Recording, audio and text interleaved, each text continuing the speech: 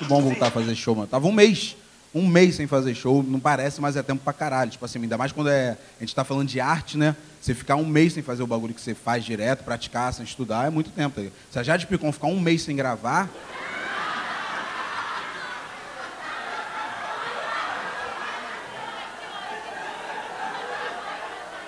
Hoje é daqui para isso, tá? Daqui para mais. Ai, meu Deus do céu, que saudade que tá de fazer isso. Só merda na minha vida. Deixa eu contar um bagulho pra vocês. É... Alguém aqui veio de longe, gente? Queria trocar uma ideia com a plateia antes a gente começar o show. Vocês vieram de onde? Essa mentira, isso. Santo, mas... Por que vocês fazem isso? Na moral, na moral, de verdade. Nem eu faria isso por mim. É o quê? Caralho, cara. Magé tem Nova Iguaçu aí também? Meu Deus do céu, cara. Peraí, não, peraí, peraí que virou Celso Portioli. Fala de novo. Sim. Meu Deus. Meu Deus. Caraca. Já viu? Vai no médico, pelo amor de Deus. Caralho, cara. Que coisa boa, coisa boa. Fico feliz, fico feliz, de verdade. Obrigado cada um de vocês que está aqui essa noite. Eu espero que essa noite seja muito legal. É, porque eu vou fazer. Contar, quero contar histórias hoje, quero trocar essa ideia com vocês, contar algumas coisas que aconteceu na minha vida. Eu fui. Viajei agora, não sei quem acompanha, eu viajei para o Catar, fui lá cobrir a Copa do Mundo. E, cara, foi incrível. Foi uma experiência absurda, assim. Foi uma experiência absurda porque. E, inclusive, eu, no meu show eu posso fazer isso, porque, assim, galera, há quatro anos atrás, na última Copa do Mundo, eu estava trabalhando no PROCON, tá ligado? Trabalhava no PROCON. Quatro anos depois, eu fui o único brasileiro contratado pela FIFA para exercer a função. Porra, tá maluco, mano? Isso é muito foda, muito foda. Muito foda. Obrigado, de verdade, obrigado. fiquei feliz demais, assim, realização de um sonho. Todo mundo sabe que sou obcecado por futebol e foi incrível. Eu lembro quando surgiu o convite da FIFA, né? Já estava próximo da Copa do Mundo, assim.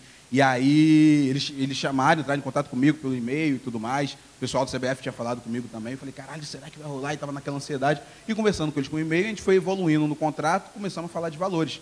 E eu não sou muito bom falando de valores, tá ligado?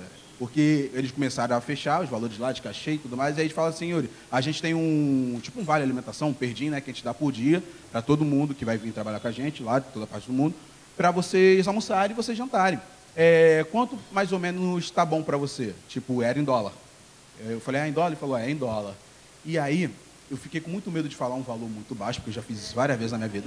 E ao mesmo tempo também com falar um valor absurdo, que eu falei, você está ficando maluco, eu não vou te dar isso. Aí eu joguei a responsabilidade para ele. Falei, pô, quanto que a galera tá recebendo em média, mais ou menos? Aí ele falou, pô, em média 50 dólares. É 250 reais, galera. 50 dólares por dia para você comer? E aí eu comecei a me tremer. Eu falei, caralho, 250 conto por dia para comer, mano. Só que eu falei, pô, ele falou esses 50 dólares muito fácil. Provavelmente é um pouquinho mais. Então eu falei, pô, também não vou subir muito não, que isso já tá, para mim já tá, ok, eu quero ir, eu quero estar tá lá, entendeu? Então eu falei assim, poxa, Pode ser 60 dólares? 300 reais? Ele falou, pode sim. Falei, mãe, vou receber 300 reais por dia só de comida, só para comer. Gente, todos os dias eu comi é, patê de, de, de atum com pão. Peguei todo o dinheiro. Isso aqui é da escola das crianças. Todos os dias, todos os dias. Até abriu a escola do Ícaro, tá garantidíssimo.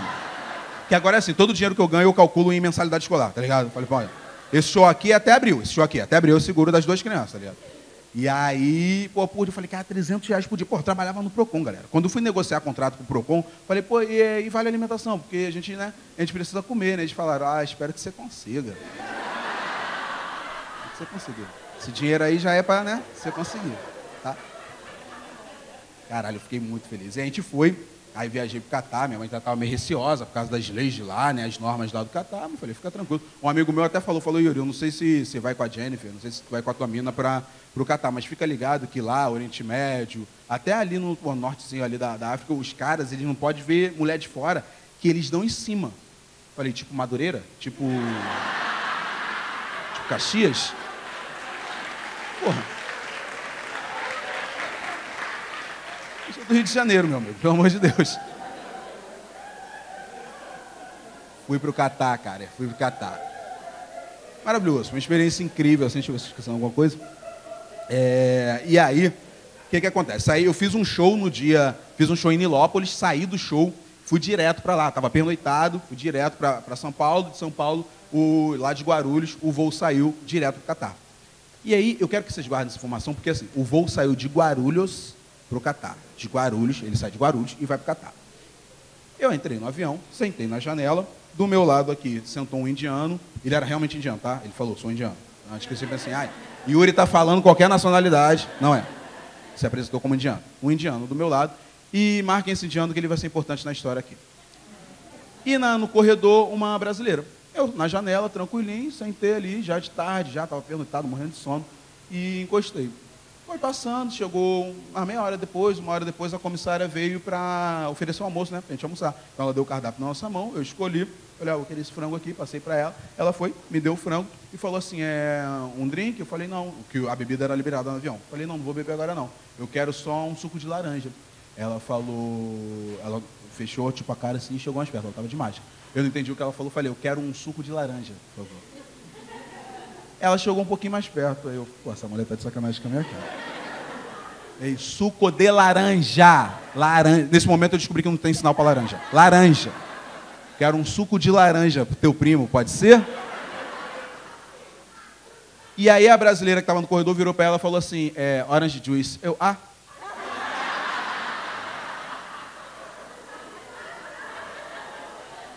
Aí eu fiquei puto porque eu descobri que nenhuma comissária falava português. Meu amor, você saiu de Guarulhos. É a sua obrigação falar português. Não era eu que estava errado, tá ligado? E aí, pô, não, não, não falava, e o caralho, eu estava desesperado. É, eu falei, caralho, o meu inglês é muito ruim, eu até entendo bem, mas eu não consigo pensar rápido e pronunciar o inglês correto, tá ligado? E eu falei, caralho, tô fudido, mano, tô fudido, não sei, pô, não sei meio. E no Catar, galera, todo mundo tava falando inglês. E aí eu já no avião, a comissária, ela percebeu que eu não sabia falar inglês, então ela começou a ser um pouquinho babaquinha comigo, tá ligado? Aí, ah, tá tudo bem. Porra, de uma hora que eu fiquei puto, falei, pô, sou um qualquer? Am I nobody? Beleza. Vamos curtindo. Início da viagem ainda, tá ligado? Encostei, almocei, normal. Passei, ela passou ali, né? Passou do comissário recolhendo tudo, papapá, bebi meu suquinho de laranja, tudo certo, encostei. E aí, galera? Encostei e falei, pô, tomei um, um antialérgico, tentar dormir, porque assim, eu não consigo dormir em trânsito. Essa informação é importante também, eu não consigo dormir em trânsito tá ligado? Quando eu tô, ah, é, voo, não consigo dormir, quando estou ônibus de viagem, carro, não consigo dormir. Por quê? Eu tenho ansiedade, então sempre acho que alguma coisa vai acontecer e eu preciso estar acordado, entendeu? Para salvar todo mundo. É, Foda-se.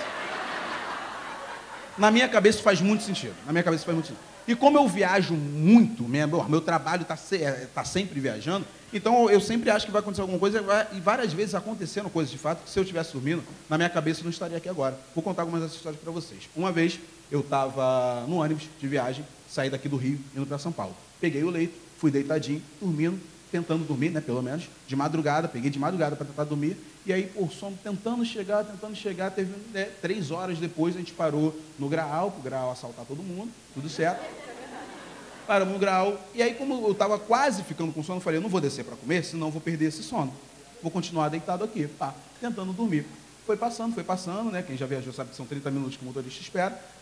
Quando estava chegando perto, eu quase dormindo, a viagem inteira, gente, essas três horas de viagem daqui do Rio até esse, esse grau, não tinha ninguém do meu lado, eu estava sozinho. Do nada, um cara deita do meu lado, um bafinho de cachaça. Eu sou macumbeiro, sou muito bom em perceber bafo de cachaça. Bafinho de cachaça, deitado, e eu fiquei tipo, o que está acontecendo aqui? E eu estava de bundinha para ele. Falei, ou esse cara vai me comer, ou esse cara vai me roubar, ou os dois. E aí, eu tive uma excelente ideia, que foi virar e ficar boquinha com boquinha com ele. Porque eu tava falando, cara, irmão, esse cara vai me roubar e eu não quero ser pego de surpresa. Eu odeio surpresa, tá ligado? Eu não quero ser pego de surpresa. Se ele for me roubar, ele vai ter que me roubar eu vendo, entendeu? Virei aqui e falei, irmão, então é isso. Fiquei virado aqui. E aí o bafo de cachaça, obviamente, aumentou. Meu olho lacrimejando pra caralho. E eu aqui com ele, eu falei, cara, o que, que esse cara está fazendo aqui? O que está acontecendo? O que, que esse cara está fazendo aqui? Eu aqui parado, aí continuei. E sabe quando você, tipo, finge que está dormindo, mas você, você, eu estava quase chorando. Falei, esse cara vai me roubar. E meu coração, taquicardia pra caralho. Foi passando. Na hora, o motorista chega, o piloto chega para fazer aquela contagem, né? Quantas pessoas estavam, tal, tal, tal, tal, tal, e ele contou uma pessoa a mais. E aí contou de novo e contou uma pessoa a mais. Aí ele viu que tinha um cara entrado do meu lado. Aí ele, o que, que esse cara tá fazendo aqui? Falei, então. Boa pergunta pra caralho. Não sei. Aí ele, você deixou ele entrar? Eu falei, aí não, aí não. Você tá vindo bem pra caralho. Eu falei, irmão, tava deitado, tava dormindo aqui. O cara entrou e falou, não, mas ele não é dessa viagem. Eu falei, o que, que eu tenho a ver com isso, cara? Eu tiro ele daqui, pelo amor de Deus. Aí ele, aí ele acordou o cara, falou, irmão, você não era para estar tá aqui não. O cara olha para mim e fala, esse cara não estava do meu lado, não. Eu falei, gente, tá maluco? Eu morri, pô. Não é possível, eu morri. Um grande purgatório, não é possível. O turista tirou ele. Outra história.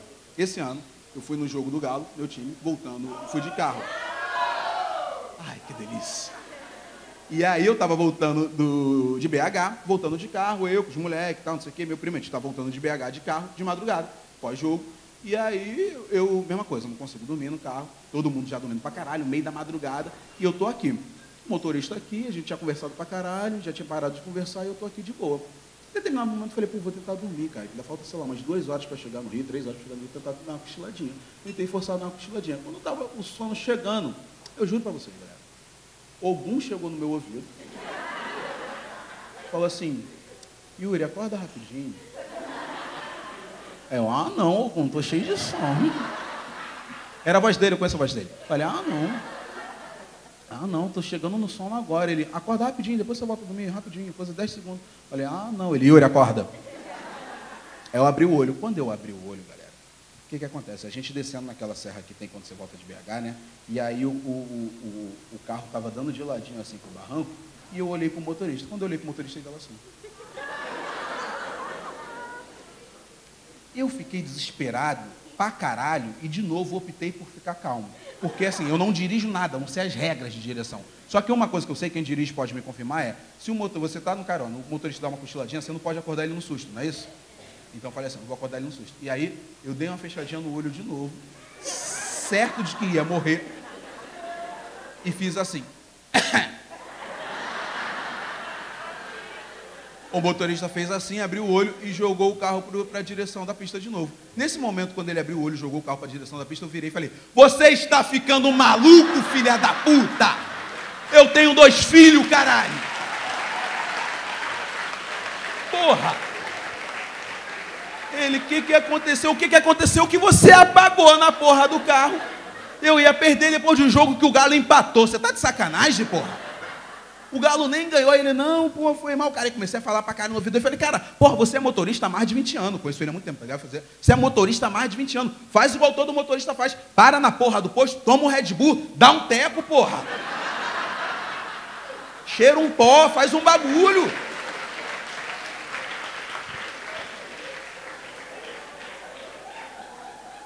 Óbvio que a partir desse momento eu não dormi nunca mais na minha vida, tá ligado? Fui barulhando ele. Toda hora, eu fiquei a viagem inteira assim, ó. Dorme. Dorme pra tu ver, pô. Dorme pra tu ver. Vou estalar um socão na tua jugular. Dorme. E avião é a mesma coisa. Avião é a mesma coisa. Eu não tenho medo de avião. Eu não gosto de trajeto muito longo. Esse, por exemplo, do Catar foram 15 horas. Eu odeio trajeto muito longo, porque no carro você pode, tipo, tá na estrada, você pode se para aí, quero andar um pouquinho, quero descer, entendeu? Quero ir na rua. Ou então, quero voltar. Agora, eu não posso no avião chegar e falar, irmão, encosta no Oceano Pacífico aqui. Então, o voo, voo longo, eu não consigo dormir também. O caralho está desesperado, porque eu sempre, eu sempre acho que se o avião caiu, tenho que estar acordado. Não sei, eu sei, isso não faz o menor sentido. Mas o meu medo, de novo, não gosto de surpresa. O meu medo é eu estar dormindo, o avião cai, aí eu acordo e falo, ué, vó? Você está morando no Catar? É isso? Que, o Xalá está fazendo aqui? Que é isso, gente? Você tem alguma coisa para me contar? Tomei um antialérgico, falei, vou tentar dormir. Vou tentar dormir. Encostei a poltrona, fechei meu olhinho, tentando dormir. Estava de dia, né? Então fechei a, a, a janela e estou tentando dormir. E aí, irmão, deu uns 20 minutinhos, puf, clarão na minha cara. Acordei, falei, cara, deve ter tido alguma turbulência, a janela abriu. Fechei a janela de novo e encostei. Mais cinco minutinhos, puf, clarão de novo. Eu acordei e falei, tem alguma coisa errada. Quando eu olho para o meu lado esquerdo, o indiano está assim na janela. Falei, não, não deve ter sido ele não. Deve ser. Ele só aproveitou a oportunidade. Fechei a janela lentamente. Encostei o indiano. Falei, porra, falta 14 horas de voo. Irmão, tem muito tempo para a gente brigar. Muito tempo, muito tempo. Brigar, reconciliar, sair na mão de novo. Muito tempo. Muito tempo. Falei, caralho, mano, esse cara vai conhecer Ganesh hoje. Fechei. Aí eu fechei. Já fica puto, já fechei a janela olhando pra cara dele aqui, tá ligado? Assim, ó. Porque assim, eu sou brasileiro e sou carioca. E a gente tem uma certa arrogância que a gente acha que a gente não pede pra porrada pra ninguém no mundo. Ninguém, ninguém. Eu não vou perder pro indiano. Não vou, não vou. Ele não tem isso aqui, tá ligado? Isso aqui. Ele não tem isso aqui. Não vou. E aí eu encostadinho para fechar a janela, ele se ligou, falei, cara, será que, né, sei lá, interna, só saí do país uma vez que foi para ir para o Uruguai, tá ligado? E vocês sabem, né, que fui terceiro negro que saí do país de avião. E aí, piada para poucos. E aí, falei, porra, será que para lá é diferente? É o do meio que manda na janela? Mas foda-se. Fechei, encostei de boa. E aí, informação importante, esse indiano, ele estava bebendo pra caralho no voo. Bebendo muito, bebendo toda hora passava. Ele tomava uma mistelzinha e o caralho. É, que eu achei estranho, que pra mim, indiano, adorava Brahma, mas. Essa piada alguns de vocês só vão entender quando chegar em casa, tá? Se chegarem em casa, vocês vão dar um Google, falar, botar Brahma Índia. Aí vocês vão falar, caralho, boa, Yuri. E aí, é, e ele, pô, derrubando, e passava, ah, conhaquezinho, ele, conhaquezinho. Tem um detalhe, que eu não sei se vocês sabem, que no, no avião, você fica bêbado mais rápido, por causa da pressão atmosférica, tá ligado? Então, o teu organismo funciona de uma forma diferente. Irmão, a nível do mais, esse cara já tinha derrubado uma caixa, tranquilamente, assim. E ele bebendo, e toda hora passava um negocinho, os comissários estavam se escondendo dele, assim. Ele, o pessoal passava, ele, um, um negocinho pra gente, vai, o caralho, meu Deus do céu. E bebendo. E bebendo, e bebendo. Pá, daqui a pouco o cara começou a ver. É tipo um TikTok lá da Índia, que a galera fazendo batalhinha de TikTok mesmo, muito legal, inclusive. Fazendo batalhinha de. E aí, o avião era um lugar espaçoso pra caralho. O cara começou a dançar, porra, do meu lado. Eu tenho uma teoria, já falei isso algumas outras vezes, que Deus, ele gosta muito das minhas piadas. Que ele, ele joga uns acontecimentos só pra mim. Assim, isso aí vai dar história maneira pra caralho pro Yuri. Falei, caralho, o indiano tá no sonaia brasileira, virou pra mim e fez assim. Eu falei, é, pois é. É. Tem 1 bilhão e 300 no país dele. Eu não vou reclamar. É gente pra caralho. Mano. Não dá pra gente competir, entendeu? Então, tipo assim, o cara vendo lá os vídeos dançando junto, pai derrubando. E aí, voltando, comissária, que já sabia que meu inglês era, que era ruim, ela veio na hora do jantar. Tem uma hora que eu falei, ah, vou beber um negocinho, né? Vou beber um negocinho. Aí ela passou, falei, pô, vinho eu sei falar inglês, é wine. Eu pedi um wine. Falei, wine, please. Aí ela, what? Falei, ela entendeu. Esse aqui. Esse aqui. Falei, wine, please. Aí, irmão, ela podia só ter dado wine. Só dar. Ela virou em inglês e falou, ah, mas você quer o vermelho, você quer o branco, você quer o seco? Falei, meu amor, só, só me give wine. Só, só, só wine. O wine que você tiver, você me dá.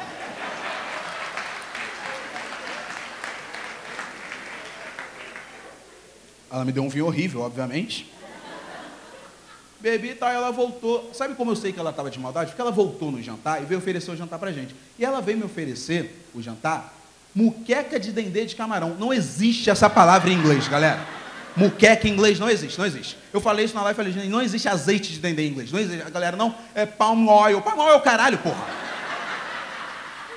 Se eu for em Liverpool agora falar, irmão, me dá um azeite de dendê para eu fazer um padezinho para Exu, ele vai me dar? Não vai me dar, pô. Ele não sabe o que é. Jantamos, beleza. Tentei dar mais uma cochiladinha, cheguei no Catar. Galera, deixa eu ver se estou esquecendo alguma coisa aqui. e aí eu cheguei no Catar, avisei minha família, avisei minha mãe. Minha mãe me deu um recado, me deu uma, um recado, um conselho muito esquisito. Ela falou assim, Yuri, cuidado aí no Catar, evita desmunhecar. Falei, mãe, eu estou com a sensação de que você está há 29 anos querendo me falar isso. Você só não tinha uma brecha para falar. Porque assim, ela não falou não desmunheca, ela falou evita, que ela sabe que eu não vou conseguir mas tenta fazer o mínimo possível. Porque é um país homofóbico, tá ligado? Evita desmoecar. Cheguei no Catar. Todo mundo. Meu inglês até ele deu uma melhoradinha lá, porque todo mundo está se comunicando em inglês, eu só podia falar inglês, tá ligado? Então, assim, ou eu fazia isso, ou eu ia, sei lá, morrer de fome. Ou eu tenho, por exemplo, já falei, é, síndrome do intestino irritável. Então, preciso saber falar pelo menos banheiro em inglês. Vou falar, irmão, é. é meio. Ah, ah, deixa, deixa. Deixa. Não, era Batman, deixa. Eu trouxe outra calça. Cheguei no, no Catar. Não esquecendo coisa. E, e aí. Ah, lembrei. E aí era, a FIFA ela pegou um prédio só para. Era uma pessoa de cada país, né? Para representação de cada país. Um prédio só para a galera que ia, ia, trabalhar com a FIFA ficar. E aí, pô, era um apartamento, dois quartos. Eu dividi o apartamento com um canadense. Cheguei lá, é, o nome dele é Brenda, inclusive. Ele está me seguindo, espero que ele não veja esse vídeo.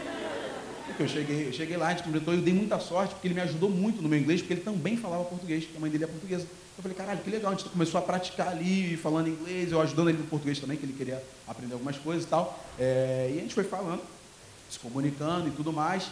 Cara, o, o, apartamento tinha um banheiro. E, porra, gente, deixa eu contar um bagulho pra vocês. É, talvez eu esteja sendo um pouco, um pouco xenófobo. Não com ele do Canadá, ainda. Mas vocês sabem que só a gente toma banho todo dia no mundo, né? Vocês sabem, né? Vocês sabem disso. Assim, no, não, sei, não sei como é no continente africano, nunca estive. Mas, assim, no geral, só a gente toma banho todo dia pra caralho. Beleza, guarda essa informação. Então, toda hora, ainda mais lá no Catar, que o clima é igual aqui do Rio de Janeiro, calorzão direto. E aí, eu ia toda hora, tomava banho, todo dia tomava banho, voltava ao trabalho, tomava banho. Só que eu estava percebendo que só a minha toalha estava no banheiro, e sempre que eu ia, o banheiro estava seco. Então, eu falei, esse, indiano, esse canadense não está tomando banho. Aí que veio o meu pensamento escroto. Me perdoem. Eu falei, será que canadenses não tomam banho? Na mesma hora eu me reprimi, falei, não, porra, pelo amor de Deus, Yuri, caralho, você está pegando uma população de um país e resumindo por causa de um cara, sabe quem tem essa mania? Jennifer, minha noiva. A convivência faz as pessoas ficarem parecidas. Pega essa história. É, início do ano a gente foi para o Espírito Santo. A gente foi para o Espírito Santo de carro. A gente foi até a Bahia de carro, passa pelo Espírito Santo, e a gente parou numa praia lá bem interiorzão do Espírito Santo. A gente nunca tinha ido parou numa praia lá bem interiorzão, paramos para tirar umas fotos, conhecer o lugar e tudo mais. E bem interior mesmo, aquela galera mais de interior e tal, é, foram super receptivos. Tinha um cara, dois, é, num cantinho da, da, da, praia, assim, que ele estava comendo um peixe com arroz e batata, uma saladinha ali, comendo com a mão, comendo de boa, com a mão ali, o peixinho dele, pá, desfiando o peixe, comendo o peixinho com a mão. E diante a gente viu essa cena, tudo certo, beleza, curtimos o Espírito Santo, viagem toda, voltamos para o Rio. Jennifer, na primeira conversa com a irmã dela, falou: Você tem que ver no Espírito Santo, eles comem com a mão. Falei: Você pegou 4 milhões de pessoas e reduziu a um comportamento específico de um cara no momento. Às vezes aquele cara nem tem esse costume. Mas fala: Ah, vou comer aqui, estou na praia, vou comer com a mão.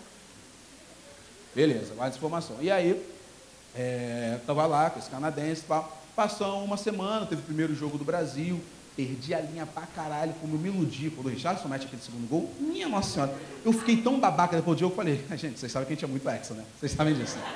Tudo bem. Tranquilo. Chegou uma semaninha, Brasil, papapá, estamos no, no, no, no, apartamento, me chegou uma mensagem do, de um cara, no celular, falando assim, oi, tudo bom? Meu nome é fulano de tal, eu sou primo do Brenda, quero o canadense estar comigo. Sou primo dele, eu cheguei hoje aqui no Catar e meu Airbnb deu merda. Então, é, eu falei com o Brenda, ele pediu para falar com você se tem problema eu ficar aí alguns dias até eu conseguir voltar, né, conseguir é, alugar aqui esse Airbnb, que acho que vai demorar alguns dias. É, prometo, ele falou, foi super educado, falou, prometo que eu não vou te atrapalhar nem nada. Eu falei, não, imagina, pode vir para cá. Ok. É, ele falou, ah, tá, vou falar com meu primo aqui. Eles chegaram lá, ficaram os dois super legais comigo, tudo mais. Um dia eu estava tomando banho, tinha acabado de chegar do jogo, estava tomando banho, é, e eu acho que ninguém percebeu que eu estava em casa. Falei, saí do banho, o quarto que eles estavam no momento estava um pouco aberto. E aí,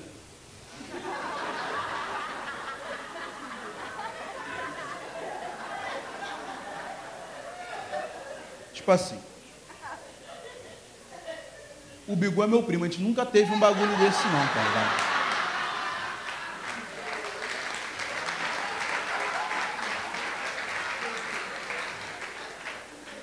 Eu saí, eles me viram, falaram, ah, sol, sol. Eu falei, no problem. Só cuidado que a galera aqui no país aqui Eu de boa, irmão, eu, pelo amor de Deus, eu ando em Ipanema, tá tranquilo. A galera aqui que é meio. André e Bigu, André meu melhor amigo, Bigu, meu primo, chegaram no Catar também, consegui levar eles, foi do caralho. Eles chegaram lá. E aí, galera, começam a. Agora acho que começa o show, tá ligado? Isso aqui foi só um esquenta, porque a gente chegou no Catar. E aí eles chegaram, a gente começou a passear e conhecer os lugares, o caralho, dando uma corrida. Deixa eu ver se estou esquecendo algo. É... E aí o André, meu melhor amigo, ele fez um sucesso com os Qatar e com os árabes absurdo, absurdo, porque primeiro Uber que a gente pegou, e aí minha mãe estava com isso, não, que aí não pode ter gay, cuidado que não pode ter gay. Deixa eu contar um negócio para vocês. Primeiro Uber que a gente entra, o cara vira para o André e fala assim, pô, o André tem 1,83, né? Falou, pô, você é alto, você deve fazer muito sucesso com as mulheres no Brasil. E não faz não. Não faz não. Na hora eu vi uma, uma lagriminha só no olho do André. Falei, cara, a gente acabou de chegar, o cara já tá gatilhando o meu amigo. Aí eu virei pro motorista e falei, muda de assunto, change, change, change. Change subject. Só falar, aí o André, não, ele. É- aí o cara chegou e falou, pô, você tem namorada no Brasil? Eu, porra, tá piorando pra caralho. Falou, não, não tenho não, e tal, não sei o que. Não, você vai fazer sucesso aqui e tal, e caraca. Aí o André falou, pô, eu soube que as leis aqui, aí começa o não pode ter gays no Catar. O cara chegou falou, o André falou, soube que as leis aqui são bem rígidas e tal, então, inclusive é relação, em relação à orientação e tal. Aí o cara falou assim, cara, até são, mas é só você saber fazer escondido. E aí, O Bigu não entende absolutamente nada de inglês. Eu entendo um pouquinho. Então ficava para ele assim, Bigu. E aí eu não podia falar gay, senão o cara ia perceber. Eu falei, isso é mona. É mona demais. O que está acontecendo? Eu falei, ah, a gente vai andar de Uber de graça às custas do André, cara. E eles conversando e tudo mais, a gente foi andando e conhecendo o lugar, e o caralho. Aí, é, é, deixa eu ver. A gente foi na, foi na feira, né? Eu conheci a feira lá, o caralho andando na feira de roupa e tudo mais. Entramos numa, numa loja de roupa lá. É, aquelas roupas que os sheiks usam, caralho. Os caras começaram a botar o André e o, e o Bigu para experimentar. E eles estavam empolgadão realmente, querendo a roupa, e experimentando, botando a paradinha lá da cabeça, explicando a história da roupa, né? Em inglês ali, conversando com eles, explicando. E eles, porra, ficaram na moral, botando a roupa e tudo mais. E aí tinha um, dois caras, um, um shake, claramente rico pra caralho, e o filho dele, que era meio. Enfim. E aí a gente estava lá, é, curtindo, curtindo, experimentando roupa e botando, tá, daqui a pouco, irmão, o cara virou, o André foi pro vendedor e começou a falar, tipo, desenrolar forte o vendedor, e falando, falando esse jeito que era ricão, pai. Desenrolando com ele, explicando, falando, falando, falei, cara, tá acontecendo alguma coisa ali. E aí os caras, não, não sei o que, blá, blá. o cara voltou virou para o André e falou assim, ó, podem levar essa roupa que é um presente meu para vocês. A gente aqui catarinense, eu sei que não é catarinense, tá? Eu quero muito vocês imaginando os caras de Criciúma falando. E aí falou que a, gente aqui catarinense, a gente gosta muito de agradar. Eu, hum, maneiro. E aí ele não te gosta muito, então essa roupa é um presente para vocês. E os caras ficaram felizes pra caralho com a roupa, eu peguei uma para mim também, a gente saiu de lá Irmão, se achando pra cá, falando que a gente é muito shake, mano. É muito shake. Foi até quando eu gravei o vídeo, cara, que, que, o cara me perguntou quantas, quantas esposas eu tinha. Eu falei, pelo amor de Deus, irmão, sou do Brasil, quantas esposas eu tenho? Seis. E aí, gente curtindo, pai andando com a roupa, caralho, a gente começou a andar com a roupa, galera. E as pessoas começaram a achar que a gente era marroquino. Falei, cara, todo mundo perguntando se a gente era marroquino, marroquino. Eu falei, irmão, a gente começou a ficar muito feliz. Falei, cara, estamos tirando um dia de marroquino aqui. A gente é marroquino, pô. Se alguém perguntar de onde eu sou, é Marrakech. Foda-se. A gente combinou real entre, a gente de falar que era marroquino. Tá ligado? A gente combinou realmente entre a gente, todo mundo. O cara perguntou, o outro maluco lá perguntou, não, vocês são do Marrocos? Não, do Marrocos, não sei o quê. Todo mundo perguntando em inglês. Em determinado momento a gente chegou. No, foi pegar um metrô. Um australiano tinha acabado de chegar, viu a gente, aí falou, cumprimentou, falou que, que, que a gente era, que ele era australiano, cara pediu para tirar uma foto com a gente. E aí o, a gente combinou, né, de falar que era marroquino. O cara perguntou de onde a gente era. Bigu entendeu, é, e falou assim, com um sotaque mais carioca que eu já ouvi na minha vida. Bigo respondeu: Marrocos, pô.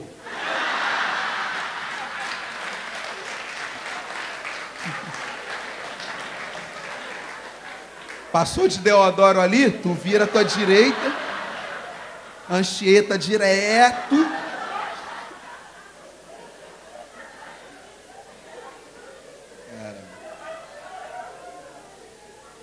Fomos jantar, todo mundo estava me recomendando um restaurante coreano tradicional, que é tipo, ah, restaurante coreano, coreano mesmo, tradicional, vocês vão amar. Vai lá. Achamos um restaurante, fomos lá no, no, no, fomos lá no restaurante, a gente entrou, a gente sentou, quando a gente sentou, o chefe já veio recepcionar a gente. E aí, galera, como eu vou falar isso para vocês sem ser cancelado?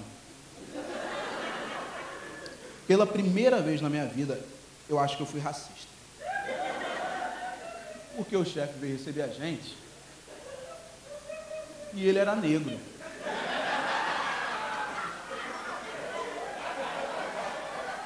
Importante dizer, ele não era um coreano negro, tá? Negro. Ponto. Ele podia ser cubano, brasileiro, Trinidad e Tobago, camaronês, senegalês, negro. Eu não falei nada e olhei para ele e nesse momento, o espírito do Kanye West baixou em mim.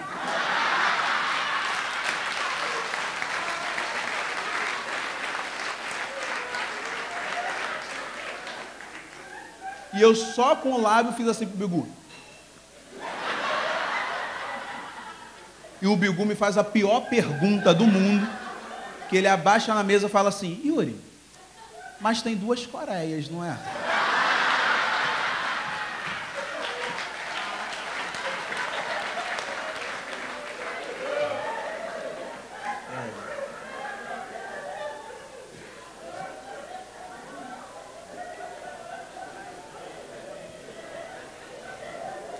Fui no jogo da Argentina, um dos primeiros jogos da Argentina eu fui.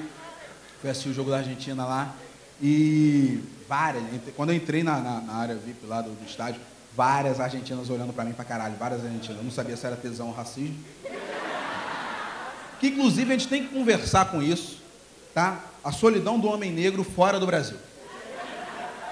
Porque, gente, eu vou falar um bagulho para vocês aqui é, o olhar, principalmente nesses países assim, o olhar de tesão e racismo é muito parecido, muito, muito. Eu, eu, eu quando eu passei, várias, várias, tipo assim, mais oito argentinos ficaram assim, ó.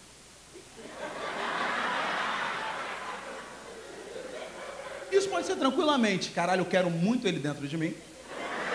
Como pode ser, eu definitivamente não quero esse cara perto de mim, entendeu? Vou fazer para vocês, ó, esse olhar, o mesmo olhar, mesmo olhar. Eu sentando a noite. Benza a Deus. Mesmo olhar, mesmo olhar, tá? Ó, não vou mudar a cara. Que nojo desse negrinho, cara. Por que que vem, né, cara? Por que que vem?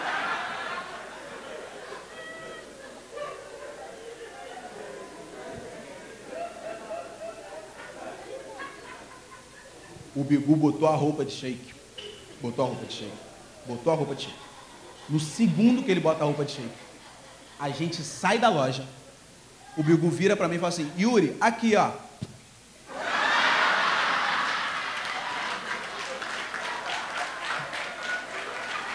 Uma porrada de shake. Falei, cara, a gente está duas semanas aqui, a gente não foi preso por nada. Como que eu ia comunicar isso para minha tia sem rir, que o Bigo morreu. Como é que é? Assim. O Bigo botou a roupa de shake e jogou de ladinho e morreu. Morreu agora, agorinha. Agorinha. Ele acabou de morrer.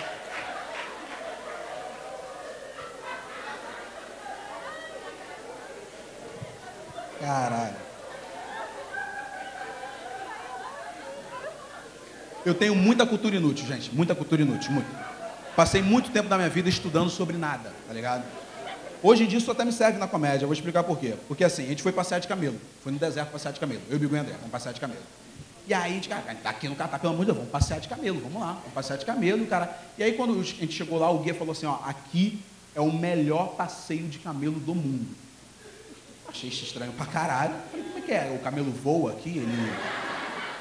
Te dá conselhos amorosos, camelo? Ah, não, Yuri, será que ela te ama mesmo? Eu, por exemplo, eu tinha uma aqui super gostosa, corcova, redondinha. Ela me largou, não entendia meu trabalho. Falava, não, que as mulheres montam em você, não sei o quê. Melhor passeio de camelo do mundo. Falei, ah, pô, vamos lá fazer. E aí, eu falei para você, tem muita cultura inútil. Que a gente chegou, a gente chegou, vamos passear de camelo. E aí o cara trouxe o camelo e mandou eu subir. Eu baixei a cabeça e fiz assim. Porque o André falou, o que, que houve?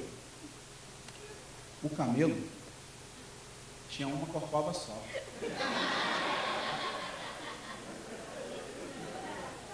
Sabe o que isso significa? Que não era uma porra de um camelo, gente. Era um dromedário. Porque a única coisa que precisa para ser um camelo é ter duas corcovas, tá ligado? E eu virei e falei, André, não é um camelo. O André falou, Yuri, eu tô vendo um camelo na minha frente. Não tá não. Você está vendo um dromedário na nossa frente. Ele falou, é sério que você vai implicar com isso? Eu falei, não é que eu vou implicar com isso. O cara me prometeu um passeio de camelo. Isso não é um camelo, é um dromedário. Ele, não, mas, porra, os cam... é uma não é espécie, porra. É um dromedário, tem dois bichos diferentes. A única exigência de ser camelo é ter mais de uma corcova. Esse só tem uma, pô. Aí eu comecei a ficar, gente, pelo amor de Deus, artigo 37 do, do Código de Defesa do Consumidor. Propaganda enganosa, pô. Falei, não pode, André. O cara me. Então coloca assim, ó, passeio de dromedário. Uma hora que eu já estava tão puto que eu já estava discutindo com um dromedário, pô. E, pelo amor de Deus, você é um equino, você é um jegue, pô. Você é um cavalo. Isso aí nem, nem a corcova, pô. Isso aí se eu andar três semanas assim, ó. Eu fico com isso aí que você tem, pô. Isso aí nem isso aí. Isso aí, porque sabe o que é isso aí? É de ficar no notebook no colo, pô. Um mês de pilates, tu para com isso aí. Pô. Eu. Você está esquecendo algo. Eu fiz o. Um árabe, muito bacana ele. Ele chegou, falou com a gente assim, a gente, pô, dia feliz pra caralho, o Brasil tinha ganhado e tal, não sei o quê. Aí ele, qual música que é muito sucesso lá no Brasil? Qual tipo, cantor, cantora mais estourado lá? Eu falei, Naldo Bene. Juro, juro, juro. Sério. Primeiro dia que o Defante chegou, ele dormiu na casa de um sheik. Primeiro dia. Ele chegou do aeroporto, não sei como, estava almoçando, fez amizade com o sheik. Tá? Vai estar no dia, não sei se vocês viram o vídeo que ele fez carinho no leão e os caralho, pá. E aí ele me chamou, falou, Yuri, estou aqui na casa do sheik, vem para cá. Eu cheguei na casa do sheik, chegou um outro sheik, bota um narguile na mesa, Defante encosta no sheik e fala assim, deixa eu dar uma mamadinha no teu narguile. Isso aqui é só uma coisa.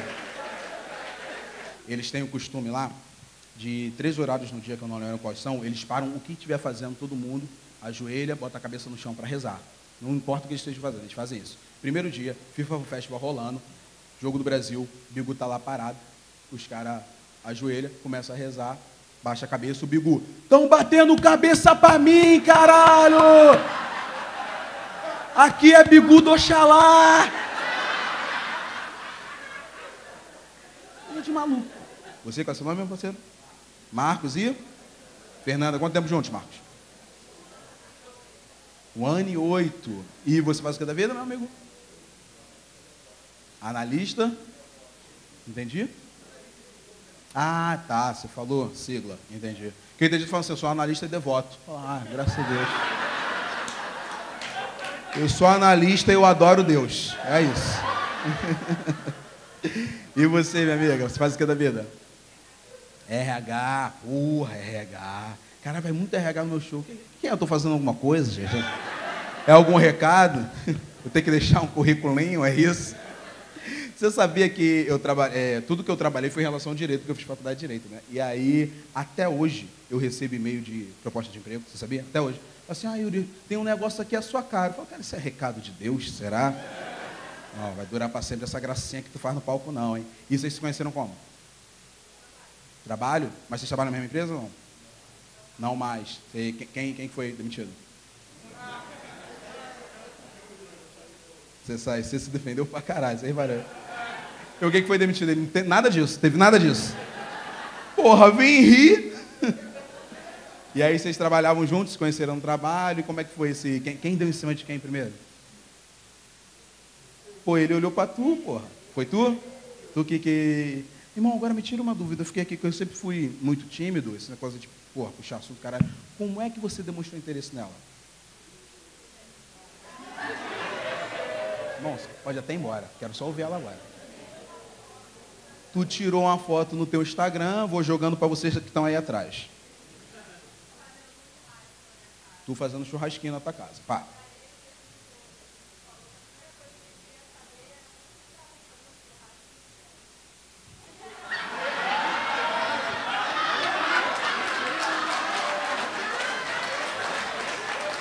Vocês vão ouvir, vocês vão ouvir, fiquem tranquilos. Minha Fernanda, né? Minha amiga Fernanda postou uma foto no Instagram fazendo churrasco na casa dela. Ele foi, mandou uma mensagem falando assim: por que estão fazendo churrasco no céu? Tá maluco, porra? Tá maluco? A formação é 0011, meu parceiro. Todo mundo no ataque, igual a gente conta a Croácia.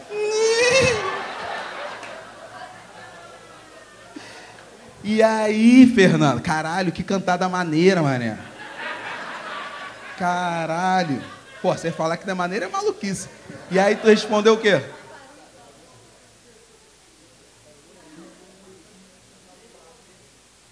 Mandou, mandou emoji? Ele mandou emoji? Irmão, já mandava logo a foto do peitão para ele, foda-se.